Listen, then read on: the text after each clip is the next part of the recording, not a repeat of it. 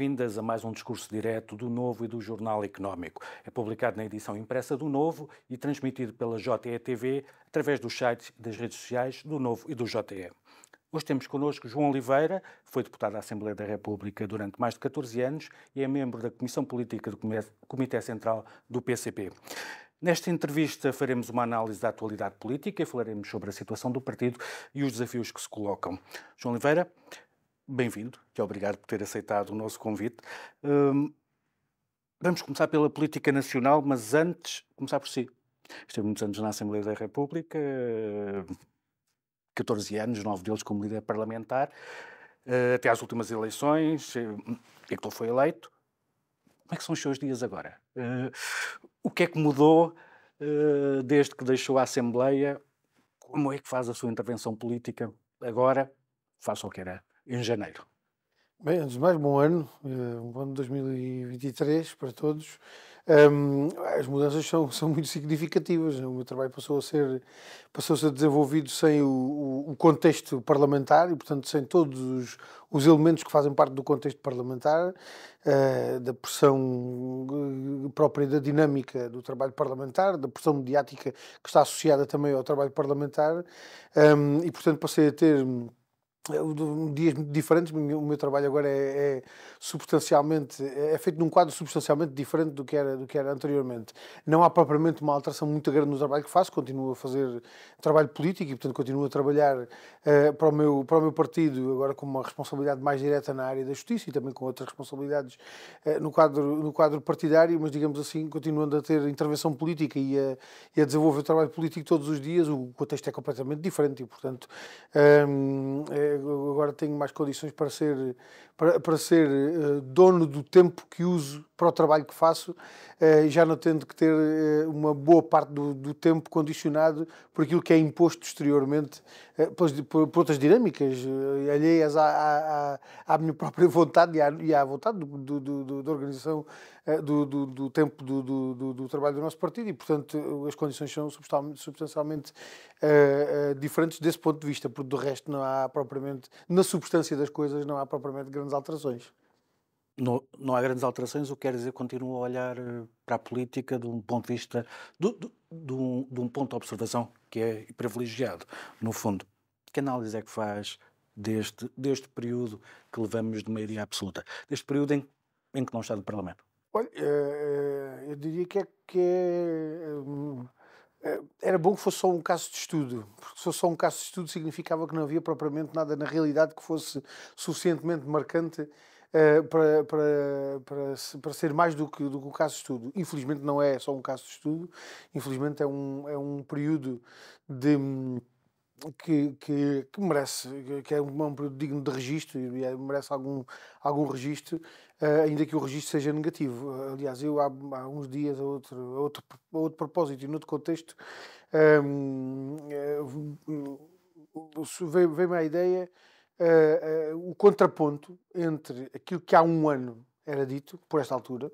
há um ano estávamos perto de, de, das eleições, tínhamos eleições uh, a aproximarem-se muito, muito rapidamente, um, eh, e aquilo que era dito na altura particularmente pelo atual Primeiro-Ministro, o Secretário-Geral do PS, António Costa, eh, não apenas sobre a situação que se vivia na altura, mas sobre aquilo que podia vir a ser o futuro do país. Se o PS tivesse uma maioria absoluta, se o PS pudesse governar sem constrangimentos, sem limitações, sem ninguém a condicionar a ação e as opções do PS, sobre a terra do leite e do mel que os portugueses teriam pela frente com uma maioria absoluta do PS, quando nós olhamos hoje para estes meses que passaram, ainda não passou sequer um ano, de maioria absoluta do PS.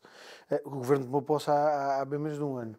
Um, quando nós olhamos para a realidade do país, para as dificuldades que as pessoas têm pela frente, para aquilo que já perderam em tão pouco tempo, uh, comparado com aquilo que tinham conseguido alcançar em, num período tão mais alargado, como foi aqueles seis anos anteriores, um, eu julgo que aquilo que está à, vista é que, manifestamente, uh, este tempo tem sido demasiado rápido uh, na sucessão de, de, problemas e dificuldades que têm sido impostas ao, ao, país, aos trabalhadores, ao povo, à generalidade da, da, da população portuguesa. E eu diria que há um ano uh, muito pouca gente adivinharia que estávamos numa situação em que estamos hoje. Já havia muitos sinais que apontavam para isso, quer dizer, o aumento dos preços já, já aí estavam, quer dizer, os combustíveis, há um ano os combustíveis já levavam mais de seis meses a aumentar de forma muito significativa. A pressão sobre os preços de energia já era muito significativa. O preço das matérias-primas, o preço de alguns, de alguns uh, um, de alguns bens essenciais já iam, já iam subindo e, portanto, já, já havia alguns indicadores daquilo que podia vir a ser o ano 2022. Eh, mas, verdadeiramente, não havia perspectiva de que, eh, sobretudo por opção do governo, eh, a situação pudesse ter o caminho que teve, entretanto, e eu julgo que isso é, é digno de nota, infelizmente digo de nota negativamente, mas eu julgo que é, que é um elemento de registro que faz ultrapassar muito o caso de estudo, digamos assim. Este, este PS da maioria absoluta é um PS muito diferente uh, daquele PS com que negociaram uh, durante o período da geringonça? Eu diria que o PS não é diferente, as condições é que são. Uh, ou seja, em condições diferentes destas, o PS via-se obrigado a ter que ter em conta aquilo que o PCP dizia, propunha, defendia. em muitas circunstâncias foi esse contexto e esse enquadramento que obrigou o PS a fazer inclusivamente coisas ao contrário daquilo que foi sendo feito pelo PS ao longo dos anos, quer dizer, nós lembramos, eh, os governos do PS não, não ficaram conhecidos pelo, pelo, aumento do abono de família, ficaram conhecidos pelos cortes que foram feitos no abono de família em 2010, ficaram conhecidos pelos cortes do subsídio de desemprego em 2010, pelos cortes dos salários, eh, pelos cortes das pensões, um, ou seja, eh, aquilo que era a matriz das opções do PS, uh, aquilo que foi sendo a matriz do, do, das opções do PS, um, ia no sentido oposto às decisões que foram tomadas uh, naqueles, naqueles seis anos, entre 2015 e 2021, uh, sobretudo entre 2015 e 2019, os últimos dois anos já num contexto diferente. Um, agora, verdadeiramente o PS é o mesmo que era naquela altura. As condições é que naturalmente hoje são diferentes. O PS tendo hoje uma maioria absoluta, encara essa maioria absoluta como como sempre as, as maiorias absolutas foram encaradas, com um sentimento de autossuficiência uh, e até de algumas circunstâncias até de soberba uh, relativamente a a essa circunstância, eventualmente convencidos de que basta haver uma maioria de deputados da Assembleia da República uh, para que tudo se possa decidir e resolver, quando materialmente não é assim. A vida demonstra que uh, a sociedade tem múltiplas formas de, de, de expressão de, dos seus sentimentos de contentamento ou descontentamento, satisfação ou insatisfação, e que tudo isso influencia e às vezes até se impõe com uma força superior àquela que resulta de uma maioria absoluta de deputados da Assembleia da República. mas, naturalmente, nestas circunstâncias, o PS eh, leva por diante as suas opções, um, ehm, sem qualquer tipo de, de, dificuldade, de obstáculo, de condicionamento, de, de, de, influência exterior à sua própria vontade, um, ehm, e portanto o resultado é aquele que, é aquele que está à vista. Uh, eu julgo particularmente o, o, o Orçamento do Estado talvez seja talvez seja, eu não diria, o, o, Orçamento do Estado não é o alfa e o ômega, digamos assim, dos instrumentos de política, mas como condensa um conjunto de elementos de, de, várias áreas é talvez um bom reflexo daquilo que são as opções políticas em várias, em várias áreas. Eu diria que. É, e eu diria que o Orçamento do Estado, quer para 2022, quer para 2023, já foram verdadeiramente reveladores daquilo que são as opções do PS. Consecutivamente, os reformados estão a perder poder de compra. Ao contrário daquilo que aconteceu durante seis anos, em que a maior parte dos reformados tiveram um aumento do poder de compra. Em dois, bastaram dois anos para, para que aumentos do poder de compra acabassem por ser ultrapassados um, pela perda de poder de compra imposta por estas opções que, que, que o PS está a fazer, uh, face a uma realidade que, não sendo resultado direto das, das opções governativas, acaba por ser uh, uh, acolhido pelas opções governativas. Os aumentos dos preços não são impostos pelo governo. Uh, o, o, a limitação aos salários não é imposta pelo governo. Agora, a partir do momento em que o governo não aceita controlar e fixar os preços, a partir do momento em que o governo não aceita medidas de aumentos dos salários, naturalmente, uh, isto, isto significa que é coincidente, é, é, é, aceita, acolhe, digamos assim, essas opções que são feitas, naturalmente, no plano económico, pelos atores económicos, sobretudo pelos grandes grupos económicos, que são quem determina o essencial do do andamento dessas, dessas opções do ponto de vista económico. Um, e eu diria que, portanto, este, este, este PS uh, ah, verdadeiramente não é diferente do PS anterior. As circunstâncias é que, são, sendo diferentes, uh, dão o resultado que está à vista. E, e nestas circunstâncias uh, completamente diferentes, de maneira absoluta, como é que é fazer oposição ao PS, sendo certo que uma das promessas de António Costa, a primeira, na noite eleitoral era de que iria reformar a ideia de, de maioria absoluta e iria ser uh, um partido de, de diálogo. Olha, primeira desilusão, talvez. Talvez essa tenha sido a primeira desilusão uh, eventualmente para quem se iludiu com o PS e com o discurso do PS e com essas promessas relativamente à maioria absoluta, um, ehm, talvez essa tenha sido a primeira desilusão. Não há diferença nesta maioria absoluta uh, relativamente a outras. As maiorias absolutas são maiorias absolutas autoconvencidas, com ideias de autossuficiência, uh, com até alguns tiques de arrogância e de soberba, como, como, como já disse. Um, ehm, e, portanto, não há nesta maioria absoluta comportamento diferente de maiorias absolutas anteriores. Mas chegou a acreditar que poderia, poderia existir essa diferença? Não, de maneira nenhuma. Aliás, o, o, quando, quando, quando em 2021, na discussão que fizemos em outubro de 2021 do orçamento para 2022, um, se tornou claro que o PS estava a, a querer forçar um, um, pretexto para poder ir para eleições com o objetivo de ter uma maioria absoluta, já era claro que aquilo que verdadeiramente o PS queria era aquilo que tem hoje.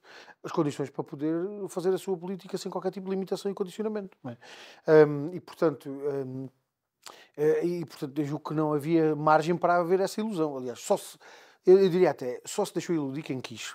Porque verdadeiramente, com a história que nós temos, com a experiência que nós já temos de situações destas, e sobretudo com aquilo que foi o percurso que foi feito nos últimos uh, seis anos, um, eh, e, e com, com, os elementos de resistência e de entrave que o PS foi colocando a muitas das medidas com que agora de resto se vem enfeitar, né? ainda há poucos dias ouvimos o, o Primeiro-Ministro procurar enfeitar-se com muitas dessas medidas que foram decididas nesse tempo, como se aquilo fosse obra do PS e da autoria do PS, um, eu diria que verdadeiramente só se iludiu quem quis com essa, com essa perspectiva.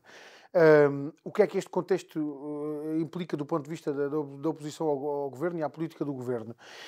Uh, eu diria que para o PCP há, uma, há, um, há um elemento de facilidade, uh, que é a circunstância de nós não termos critérios diferentes numa situação ou noutra aquilo que nos, norte, aquilo que nos norteou, aquilo que norteou a nossa ação e aquilo que norteou a nossa intervenção entre 2015 e 2021 foi uh, a, a, defesa dos interesses dos trabalhadores e do povo, a recuperação de direitos que tinham sido cortados, uh, o, a, o, avanço, digamos assim, face às possibilidades que havia de avançar com a conquista de novos direitos e de, de, de, de outras respostas às dificuldades que os portugueses tinham. Foi assim nesse período entre 2015 e 2021 como já tinha sido anteriormente, no, no período da Troika, por exemplo, um, e é hoje exatamente nos mesmos termos. O que é que se altera? Alteram-se de facto as condições, eu diria, não tanto as condições políticas, mas sobretudo as condições reais, objetivas em que o país está. Eu diria até que aquilo que coloca maior exigência à nossa ação e à nossa intervenção uh, são mais as dificuldades que os portugueses neste momento estão a enfrentar, os problemas que os trabalhadores estão a enfrentar todos os meses com a perda de poder de compra, com o salário a valer cada vez menos, com os preços a aumentar, com a preocupação sobre o que é que acontece à habitação face ao aumento da renda ou ao aumento da prestação do, do, do, do crédito da casa, uh, as dificuldades com, com, o acesso aos serviços públicos, com o Serviço Nacional de Saúde, tal como nós tínhamos dito, com dificuldades cada vez maiores em dar resposta às necessidades dos utentes é verdadeiramente essa realidade que coloca maior exigência à nossa ação e à, e à nossa intervenção, mais do que a maioria absoluta do PS. Um, verdadeiramente, a maioria absoluta do PS tem consequências do ponto de vista uh, político e institucional, do ponto de vista da, da, da, da, forma como na Assembleia da República podem ou deixam de poder ser tomadas determinadas decisões um, e à forma como essas decisões podem ou não contar com o contributo, a ação, a iniciativa, a proposta uh, que, que, nós apresentamos. Né? Porque a partir do momento em que há uma maioria absoluta, é muito mais difícil que as propostas que nós apresentamos possam, possam vingar.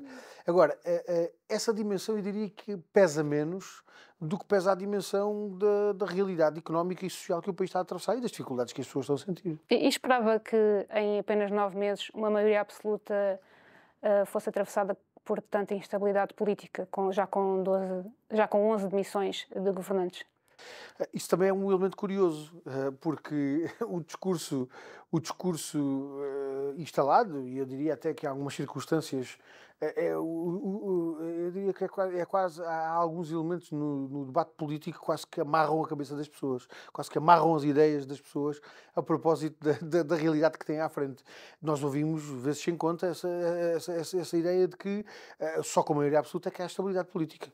Só com, com maioria absoluta e só com governos de maioria absoluta, seja uh, sobretudo unipartidário, é? é? que há condições para haver um, estabilidade uh, política nós sempre contrapusemos a esse critério um outro.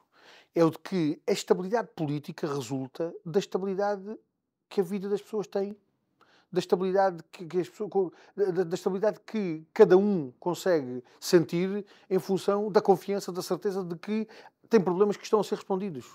E, portanto, uma política que corresponda às necessidades das pessoas, que responda aos problemas que as pessoas têm, dá às pessoas um sentimento de estabilidade, e de conforto e de segurança, do qual resulta a estabilidade política. Um, nós parece que pregamos no deserto. Parece que quando dizemos estas coisas, que são coisas que, que não se compreendem, que são coisas que, que, mais ninguém entende. Verdadeiramente a realidade está a demonstrar isso mesmo. Um governo com maioria absoluta, de acordo com aqueles critérios que são comuns, teria garantido a estabilidade política. O que é que nós vemos? É exatamente o oposto. Vemos um governo com maioria absoluta, numa situação de substancial instabilidade política. Porquê? Porque a política que está a fazer é uma política contrária aos interesses das pessoas. É uma política contrária aos interesses da maioria das pessoas. Naturalmente serve uma minoria. Há uma minoria de acionistas dos grupos económicos, há uma minoria de detentores do poder económico que se revêem na política do governo e que estão satisfeitos com a política que o governo faz, porque ela é convergente com os seus interesses e com, os seus, com as suas ambições. Mas para a esmagadora maioria das pessoas, esta política é uma política contrária aos, seus interesses. É? E, portanto, naturalmente, isso é um fator, de, é um foco de instabilidade política e há de continuar a ser enquanto as opções do governo forem essas. Acaba por ser irónico que uh, o período da geringonça tenha sido de maior estabilidade política do que aquela que temos agora. Eu diria, eu diria que não é irónico, eu diria que confirma precisamente esta nossa tese. Porque, uh, mesmo com uma política que foi muito limitada naquilo que era a necessidade de resposta aos problemas que o país tinha, nós não podemos dizer que entre 2015 e 2019 houve uma resposta plena aos problemas do país. Não houve. Houve uma resposta até muito limitada àquilo que eram as necessidades que, que, que, que, que o povo sentia e que, o país, e que o país tinha pela frente. A verdade é que houve algum sentido dessa resposta que era necessária. E só o facto de haver essa, esse sentido de resposta que era necessária deu às, às, pessoas, de facto, uma outra perspectiva de confiança, até em relação ao futuro. Não é? E isso é tudo elemento de confiança, é elemento de, de certeza, é elemento de estabilidade política, pronto, se quiser, para, para, para, para, redundar nesse conceito. Um, essa, essa, digamos assim, essa aproximação àquilo que são as necessidades e as aspirações que as pessoas, que as pessoas têm, esse sentimento de que há uma política que, mesmo de uma forma limitada, corresponde às suas, às suas aspirações ou dá resposta aos seus problemas, é de facto um elemento que, que, que dá, essa, que dá essa estabilidade e eu julgo que isso é manifesto, é manifesto esse contraste entre esse período e aquilo que estamos agora a viver. Mas em relação, em relação àquilo que disse de ser mais uma questão de política, nós tivemos aqui uma sessão de casos e casinhos que, e a sensação que fica um, de fora uh, é que esses, esses, casos têm mais a ver com pessoas do que com, do com políticas. É, é assim, foi, hum, nós tivemos casos de demissões de governantes que tiveram mais a ver por serem aqueles do que. Aliás, tivemos alguns governantes que nem tiveram tempo para ter intervenção política, tal foi a rapidez com que passaram pelo, pelo governo há um déficit na escolha de pessoas? Olha, uh, deixa-me ver como é que eu, como é que eu consigo uh, responder à sua questão sem, sem, sem pôr o pé em ramo verde. Porque acho que há, há, há manifestamente aquilo que, nós, aquilo que temos assistido é uma operação metódica de tiro ao alvo a, a determinados membros do governo em determinadas alturas, de maneira a criar uma situação de, eh, como é que, como é que é dizer, de degradação da imagem do governo.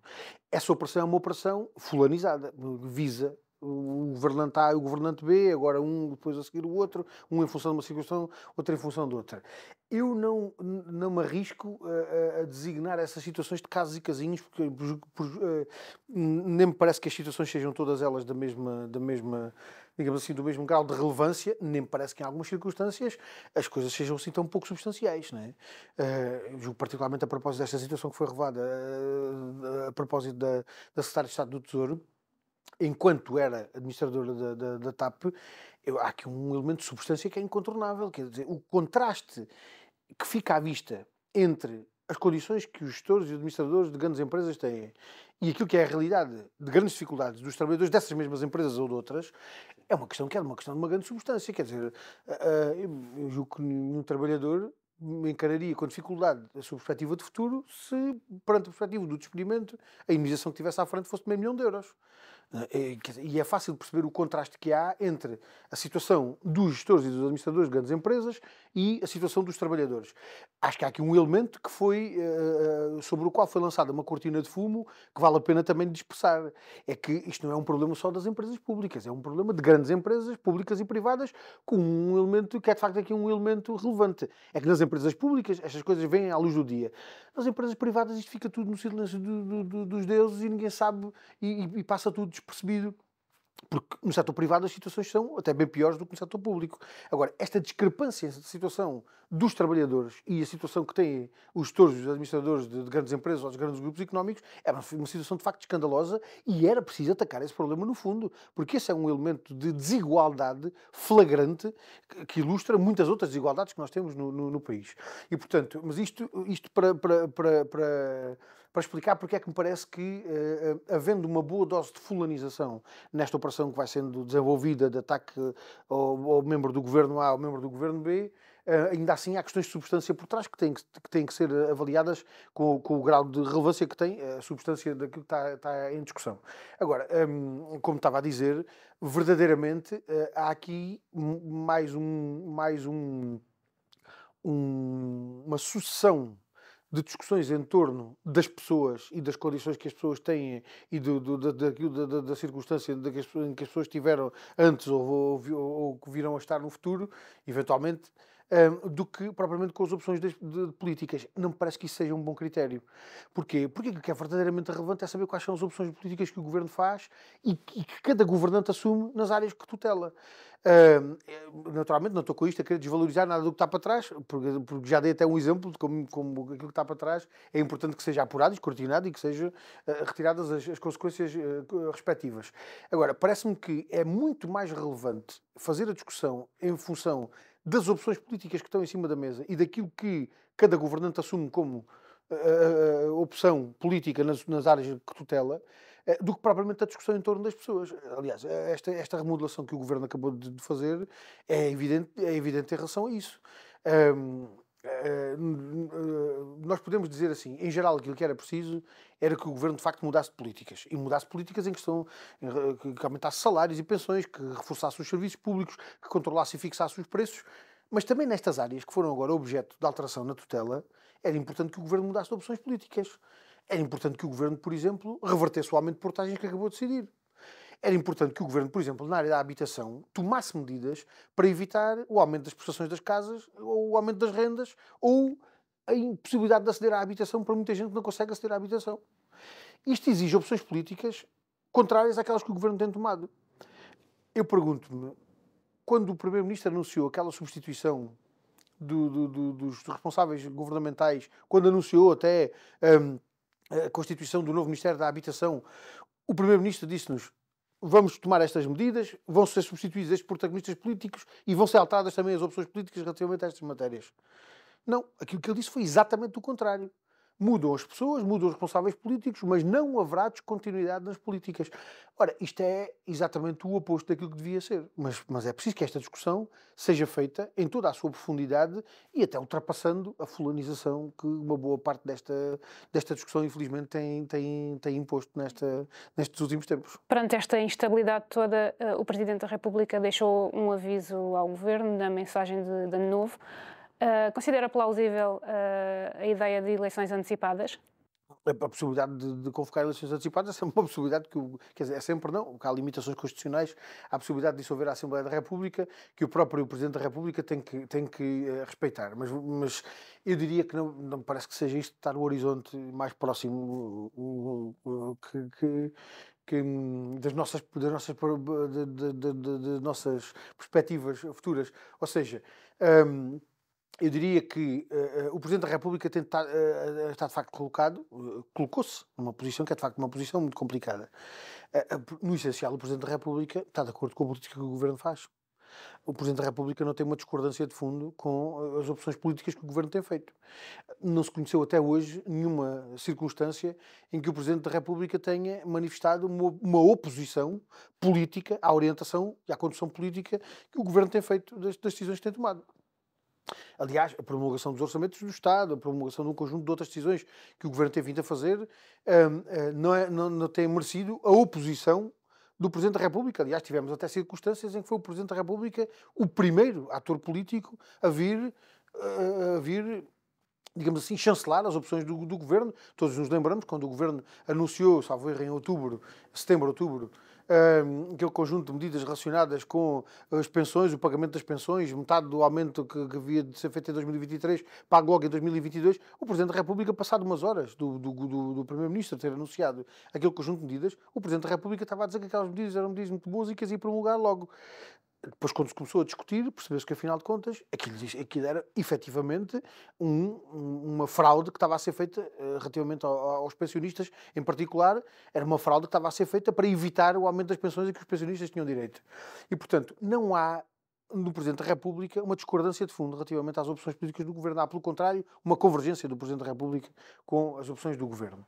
O Presidente da República, ainda assim, não tem a mesma origem partidária que tem o, Governo, procura também assumir uma, uma posição que não é de aberta convergência com o Governo.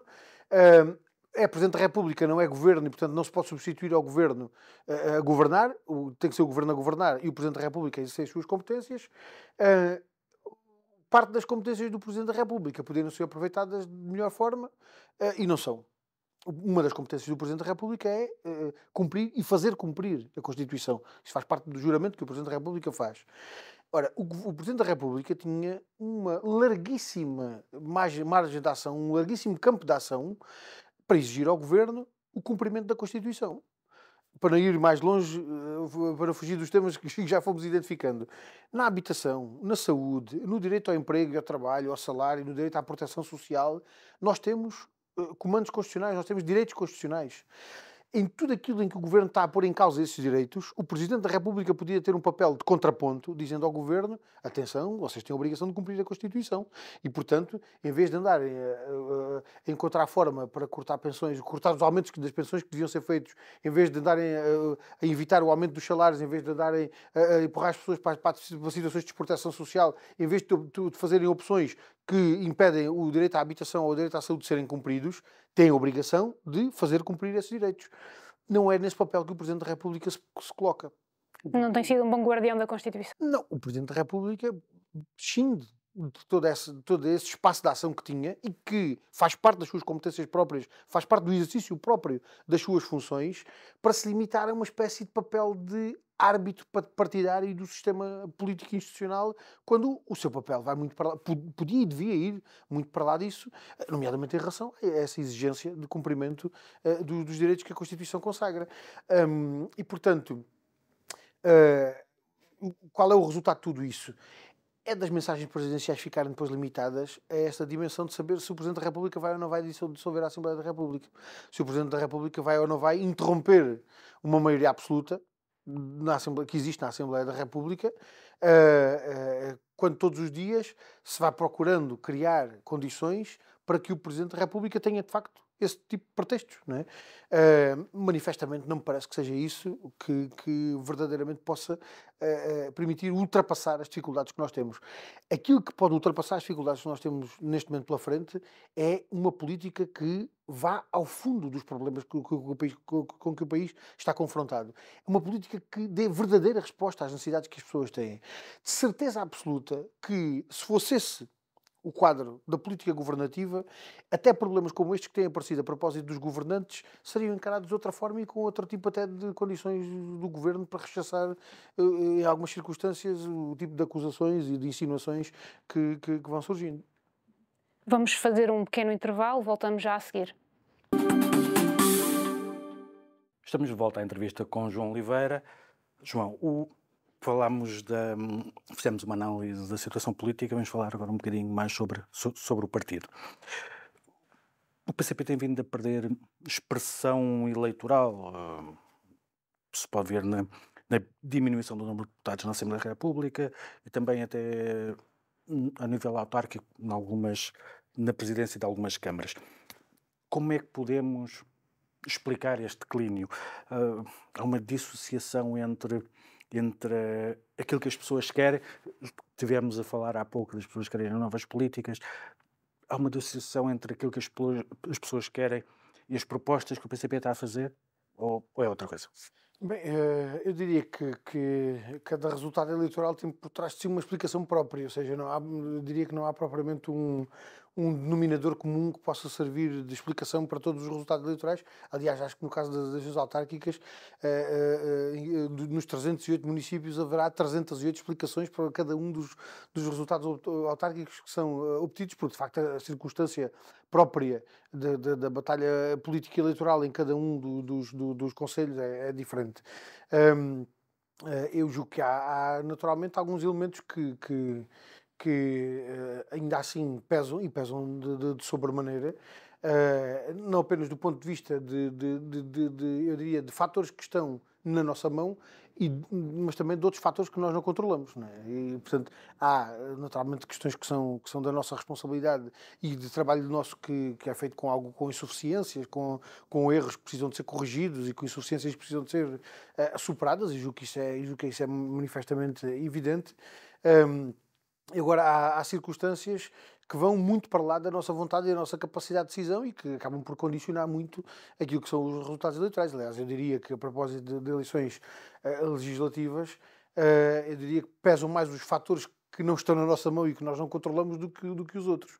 Uh, sobretudo porque há, há, do ponto de vista da, da, da, da formação dos critérios eleitorais, há uh, razões que são construídas a partir de elementos muito, muito voláteis e que são os próprios resultados, em muitas circunstâncias, de dinâmicas próprias eh, da bolha mediática, de outro tipo de, de circunstâncias.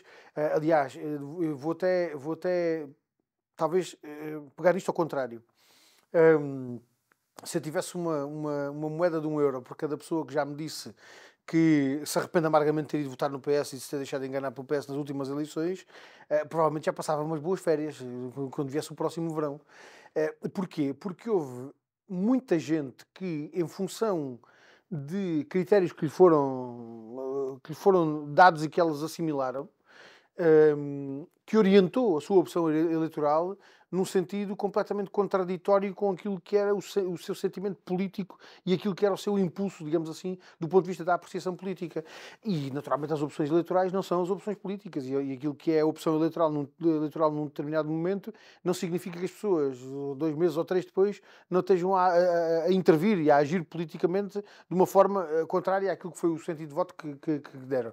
E, portanto, eu, eu diria que, que, há de haver circunstâncias muito, muito diferenciadas, mas é uma realidade, naturalmente, nós temos que contrariar e que, um, eh, ehm, e que eu julgo que os, os, os trabalhadores e as, e as, populações precisam que seja contrariada.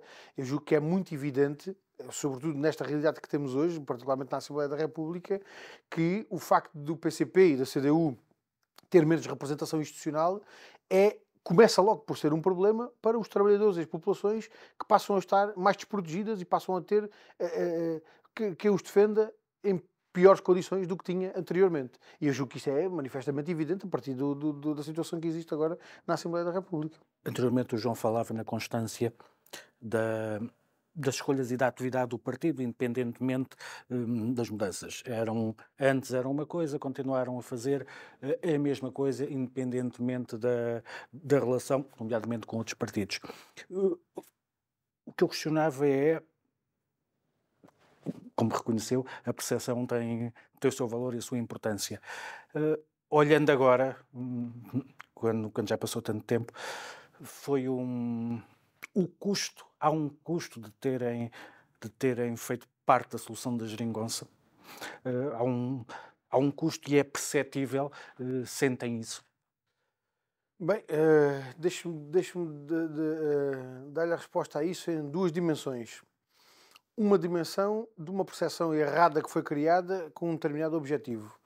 Uh, e uma outra daquilo que foi o elemento real que resultou dessa opção e aquilo que, que, que vale a pena uh, retirar como, como conclusão e como consequência disso.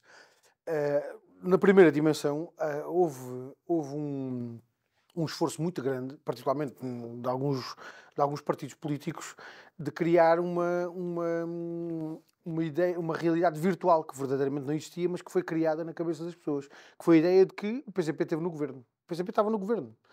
Houve, houve, partidos, particularmente o PSD e o CDS, esforçaram-se por, uh, uh, uh, por colocar essa ideia, por, por, por, por transportar para a cabeça das pessoas a ideia de que a realidade era essa, quando ela efetivamente não o era. Um, e em muitas circunstâncias houve a ilusão de que, ah, afinal, o PCP está no governo, toda a gente já não precisa fazer mais nada, o PCP resolve os problemas lá no governo. Ora, isso foi uma ilusão e era, foi uma ilusão que se pagou cara. Quem eventualmente tenha ficado convencido disso, quem eventualmente se tenha convencido de que já não valia a pena lutar, já não era preciso fazer mais nada porque nós estávamos no governo, ou nós uh, tínhamos tomado conta do poder e, portanto, havíamos de resolver os problemas todos, naturalmente foi enganado e caiu numa ilusão que tem consequências. E essa ilusão tem consequências e a primeira consequência é aquela que está à vista. É, é naturalmente um uma, uma, incompreensão daquilo que efetivamente eram as condições que existiam para que decisões positivas fossem tomadas e da importância que tinha continuar a lutar para que essas decisões fossem tomadas, porque só a intervenção na Assembleia da República nos cabe. É? Nós, na Assembleia da República, podíamos fazer 3 mil intervenções. Se não houvesse alguma dinâmica social que, na base, criasse pressão política para que as decisões fossem tomadas, muito dificilmente as nossas 3 mil intervenções serviam para alguma coisa. É?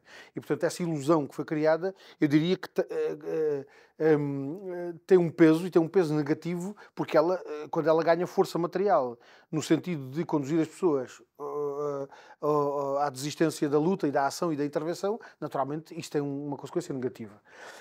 Um, aquilo que verdadeiramente foi real foi o quê? Foi a influência que nós efetivamente tínhamos em função do peso, do peso e da representação institucional que tínhamos, ou seja, na Assembleia da República uh, uh, existia naquela altura uma correlação de forças em que nós tínhamos de facto um papel importante e uma palavra a dizer nas decisões que eram tomadas.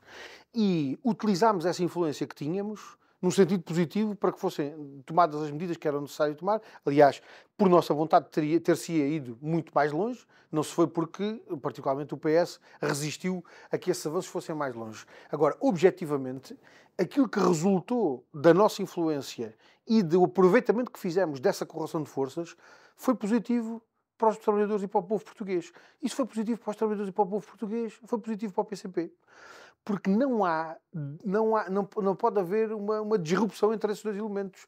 Não há coisas boas que são, não há coisas que são boas para os trabalhadores e mais para o PCP. É o contrário. Aquilo que é bom para o, PCP, para o PCP é aquilo que é bom para os trabalhadores e para o povo. E, portanto, essa coincidência julgo que é manifestamente evidente e, olhando para trás, vendo as pessoas que tiveram salários repostos, que tiveram pensões repostas, que tiveram pensões aumentadas, as, as crianças que tiveram manuais escolares gratuitos e creches gratuitas, uh, os, os, doentes que tiveram taxas moderadoras iluminadas, uh, que, que, tiveram quer dizer, a quantidade de medidas que foram tomadas, a redução do preço dos, dos transportes, não, não tivessem sido essas medidas que foram tomadas naquela altura e a vida hoje seria muito mais difícil. Se nessa altura aquelas medidas foram boas, para o povo português, foram boas para o PCP.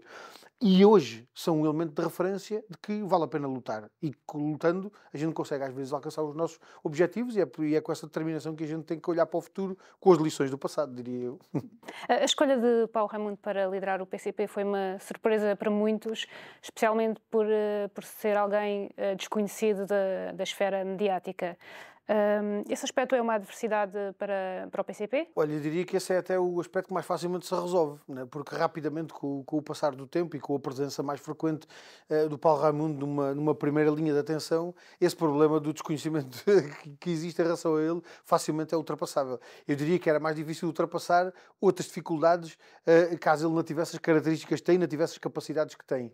Tendo-as e tendo apenas essa dificuldade de não ser conhecido, eu julgo que isso é fácil de, de ultrapassar e é um obstáculo que rapidamente será, será esquecido um, a partir do momento em que, em que ele for mais reconhecido publicamente e em que tiver mais à vista as capacidades e as qualidades que tem. O obstáculo maior será o facto de não estar na, na Assembleia da República, certo? Bem, eu diria que essa circunstância é uma circunstância, eh, eu não sei se é um obstáculo, quer dizer, é, uma, é uma circunstância que de alguma forma. Uh, um, não permite, não permite a sua projeção pública da forma que ela poderia existir caso, caso, caso fosse deputado. Uh, mas eu diria que também não é propriamente esse um grande, um grande problema. Porquê?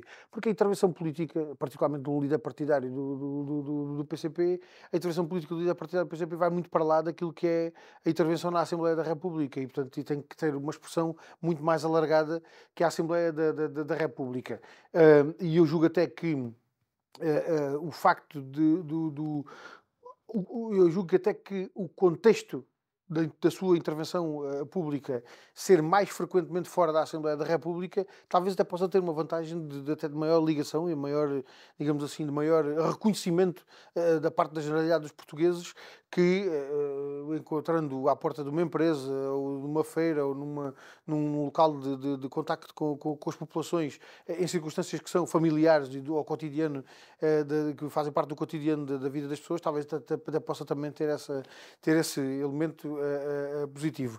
Mas eu acho que isso é.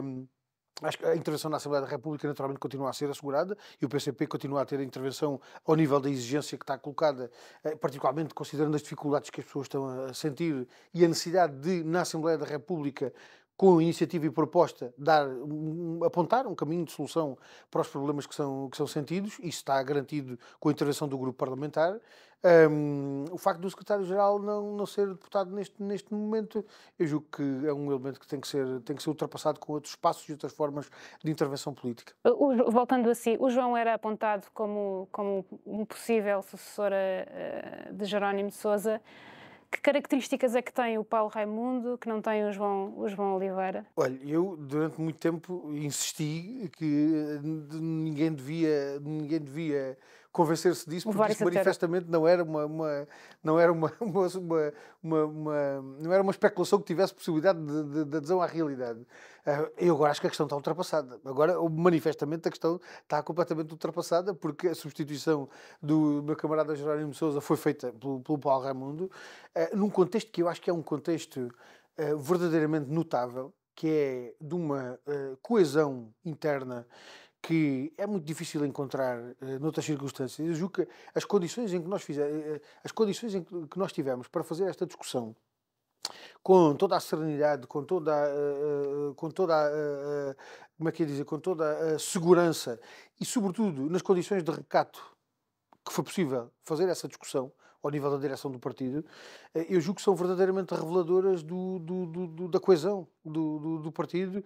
da coesão da, da, sua direção e da capacidade de tomar as decisões que tem que tomar com a relevância que tem esta decisão, não só na vida interna do partido, mas até para lá das fronteiras do, do partido.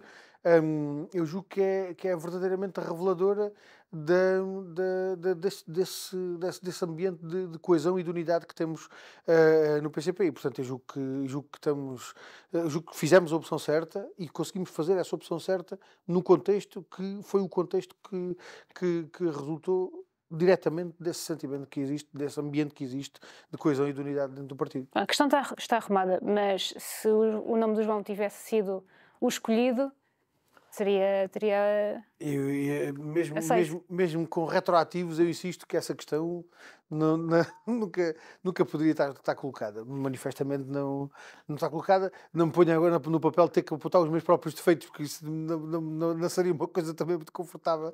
Mas manifestamente essa opção nunca teve. Nunca teve eu acho que nunca teve colocado, colocado e acho que não, não era uma opção que, que, que verdadeiramente fosse considerada nesta, nesta discussão. E por isso é que fui insistindo que, eh, eh, mesmo percebendo que por força das circunstâncias uh, da minha intervenção na Assembleia da República e das responsabilidades que tinha na, na, na liderança do grupo parlamentar, que, pelo facto das pessoas terem algum reconhecimento com alguma frequência uh, uh, da, da, da, minha, da minha figura, que isso pudesse ser induzido, mas eu fui insistindo que isso não era uma questão que se colocasse e manifestamente uh, a realidade confirmou aquilo que eu, que eu vinha dizendo. nesta nova etapa, quais são os principais desafios que se colocam ao partido? Eu diria que os principais desafios que estão colocados são, de facto, de, de, de apontar uma saída para a, situação em que estamos. Uh, é preciso que as pessoas tenham uh, a confiança de que há de facto saída para esta situação em que estamos, que há solução para os seus problemas. E de facto essas soluções existem.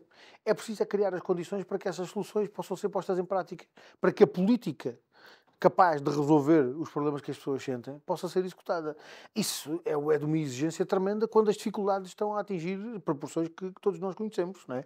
Quer dizer, com, com uma inflação de 8,1% em 2022, como foi agora, como ficou agora registado, com uma perda de poder de compra aceleradíssima, sobretudo para quem tem rendimentos mais baixos, é? Porque quem tem rendimentos mais baixos sofre mais com a subida dos preços dos bens essenciais e com a subida dos preços da energia, que foram eh, dois dos segmentos de produtos que mais aumentos de preços tiveram. Um, ou seja, onde o poder. São, precisamente as pessoas que têm mais baixos rendimentos aquelas que mais perdem poder de compra uh, do, em termos comparativos, uh, com dificuldades do ponto de vista económico e social que não têm neste momento não deixam ninguém uh, intocado.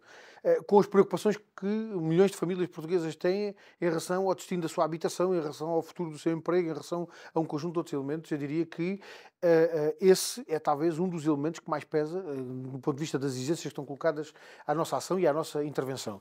E eu diria que a nossa Conferência Nacional identificou muito bem esse quadro, não apenas o quadro da situação económica e social do país, mas o quadro internacional, da situação internacional que se vai agudizando e que comporta ela própria elementos de incerteza, eh, eh, eu diria, elementos de incerteza que, sendo de incerteza, nós não podemos dizer que vão neste sentido ou naquele, mas podemos identificar como tendo uma determinada, um determinado sentido de evolução previsível um, ehm, e que naturalmente coloca o nosso país, um país que está tão dependente do estrangeiro como está o nosso, naturalmente está mais vulnerável às alterações da situação internacional como aquelas que, que nós temos vindo a assistir e aquelas que, que, que têm tido os impactos que têm. Um, e eu diria que na Conferência Nacional nós identificámos naquelas 20 linhas de trabalho um, um conjunto de elementos que têm que focar a nossa ação e a nossa iniciativa umas no sentido de apontar as soluções para problemas concretos de natureza económica e social que aí estão, nos salários, nas pensões, na habitação, na saúde, na, na, na, exigência do cumprimento da Constituição e dos direitos que ela, que ela comporta, na defesa da liberdade e da democracia. Um, outros numa dimensão de reforço do partido e da sua capacidade de ação e de, e de, e de, de intervenção, né? nomeadamente de recrutamento de novos militantes, de reforço da organização em termos de intervenção nas empresas e nos locais de trabalho, de ligação às populações e aos trabalhadores com um conjunto de elementos de, que ficaram fixados uh, na resolução da nossa conferência de forma muito, muito evidente um, e naturalmente procurando responder a estas exigências que em muitas circunstâncias Uh, são exigências que a de trás, eh, noutras, noutros, noutros casos são novas exigências que estão efetivamente colocadas uh, ao, nosso, ao nosso partido e à sua intervenção. E, portanto, eu diria que, não sendo tempos fáceis, naturalmente, o nosso caderno de encargos também não é pequeno. Uh, mas eu estou convencido que temos um partido à altura dessas responsabilidades, como sempre tivemos ao longo destes 101 anos de história. E acho que esse elemento é um elemento até de confiança que nós podemos ter. quando nós olhamos para a história do nosso partido, estes 101 anos foram feitos de, de, de momentos muito difíceis e alguns deles bem mais difíceis do que estes que hoje atravessamos. É? Particularmente os 48 anos eh, em que enfrentámos a ditadura um, nas condições em que, em, em que, o fizemos, eh, é difícil de reconhecer que foram anos bem mais difíceis do que estes que estamos agora a, a atravessar. Agora, se nem mesmo nessas circunstâncias nós desistimos, e eu diria até, se até mesmo nessas circunstâncias mais difíceis nós estivemos à altura das exigências que tínhamos, não era agora que íamos dar parte de fracos e, portanto, cá estaremos certamente para dar a resposta que, que se exige ao Partido dos Trabalhadores.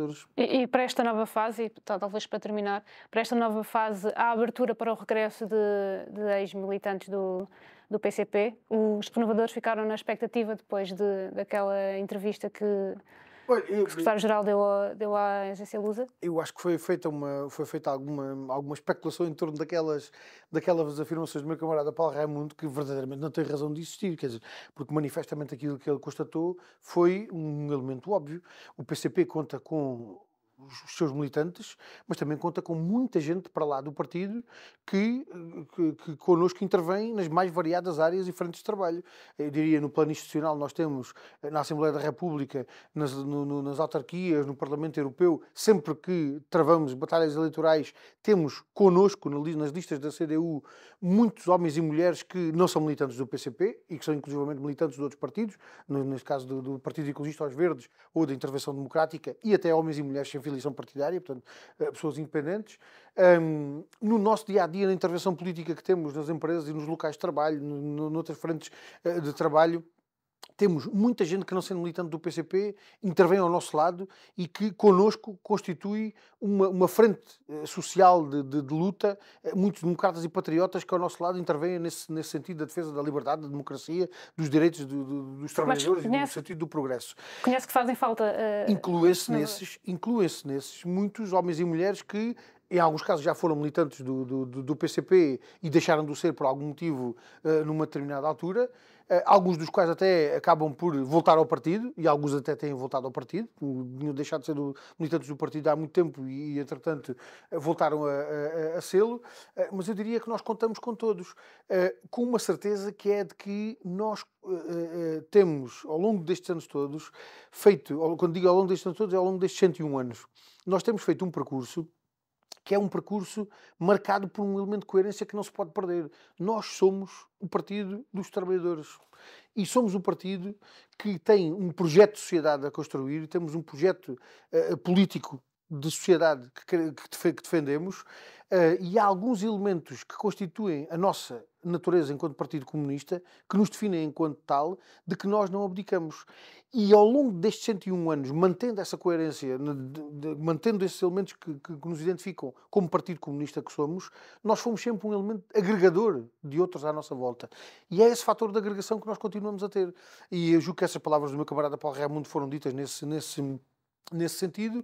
Um, e, portanto, foi depois quem, quem fizesse interpretações no sentido de que havia uma, havia uma, uma, uma, um, um, outro sentido daquela afirmação, mas verdadeiramente o, o, sentido daquela afirmação é este. O PCP é um partido de agregação e que conta com os seus militantes, mas conta com muitos outros que, não sendo militantes, intervêm no, no, no, no dia a dia, na ação e na intervenção nas mais variadas áreas diferentes de, de, de, de intervenção política e, portanto, contamos com, com, com, com todos eles, incluindo com aqueles que, tendo sido militantes do PCP e tendo deixado de ser, tendo que, afinal de contas, é mesmo aqui que querem, querem estar e querem intervir e, organizadamente, porque somos um partido organizado, não somos um, um uma agremiação de individualidade. Portanto, é há regras. É isso que nos transforma num partido e, naturalmente, como partido que somos, temos que ter elementos de identificação uh, uh, da nossa natureza, do sentido do projeto político que defendemos e da sociedade que queremos construir. E que isso é muito, muito claro e que não é, não é suscetível de, de interpretações mais ou menos retorcidas, como algumas que foram feitas há uns tempos sobre isso. João Oliveira, obrigada. Terminamos assim. A entrevista está disponível na edição impressa do Novo de 7 de janeiro e continuará disponível no novo.pt e em jornaleconómico.pt. Obrigada e até uma próxima oportunidade.